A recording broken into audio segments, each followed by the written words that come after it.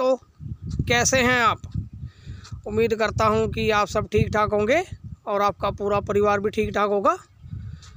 और आज की वीडियो जो हम ले करके आए हैं दोस्तों, वो है ईंटें।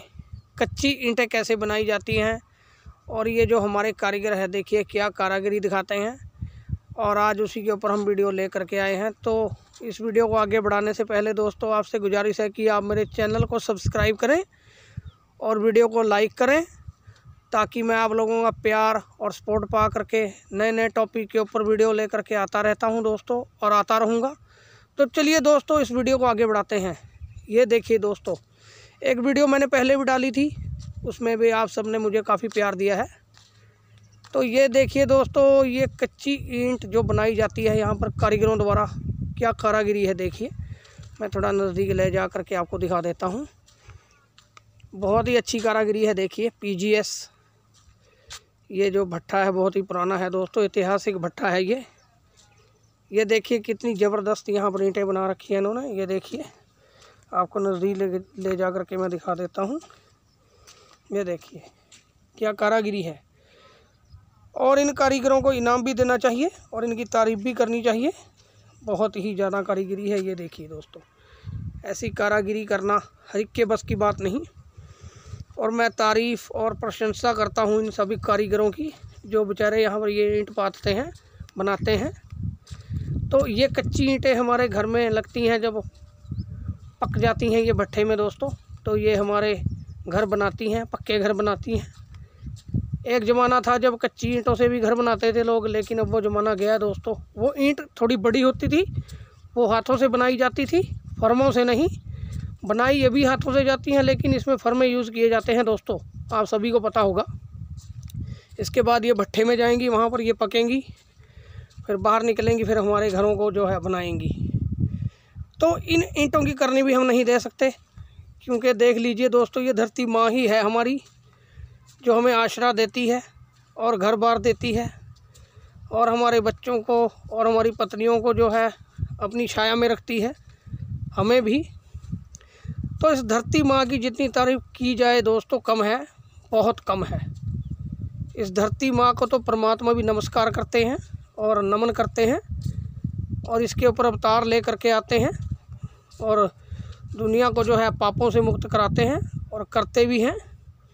तो ये देख लीजिए, पीछे तक बहुत ही ज़्यादा ईंटें हैं यहाँ पर। ये देख लीजिए, ये सूखने के लिए डाली गई हैं और जब ये सूख जाएँगी तो फिर इनको आगे ले जाया जाएगा।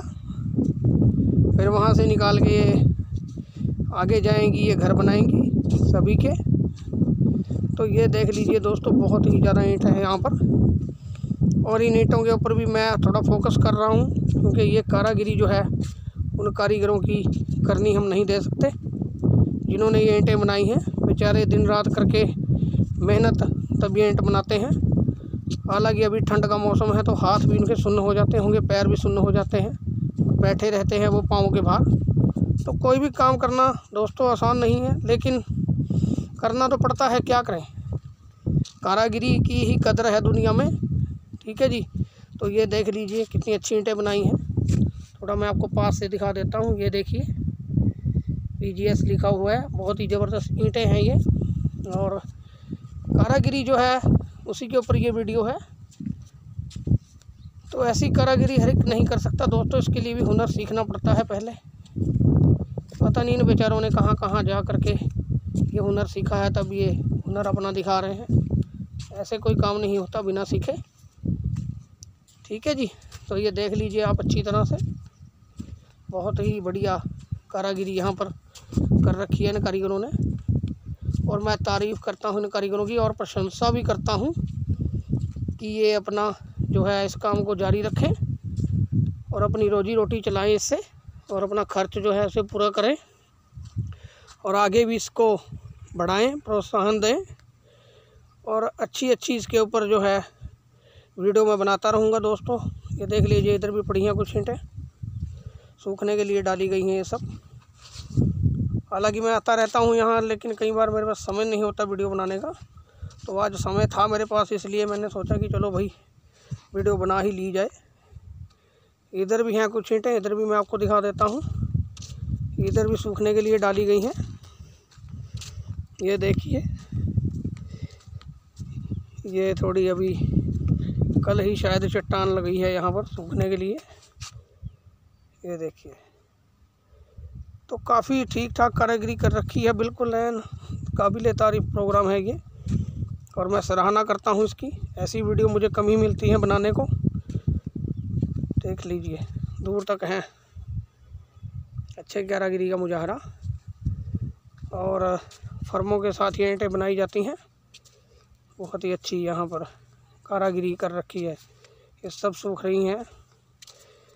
सूखने के बाद फिर ये तैयार हो जाएँगी।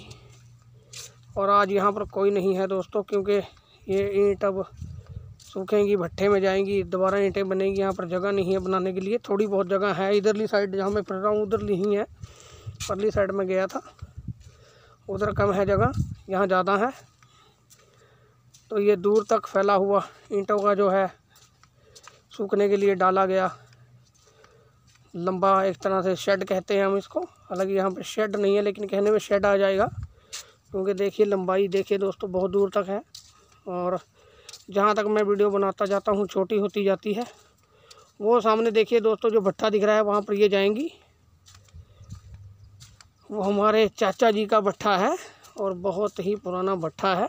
उनसे भी बहुत आदर, सत्कार और प्यार हमें मिलता रहता है। घर वाले रिश्ते हैं उनसे हमारे।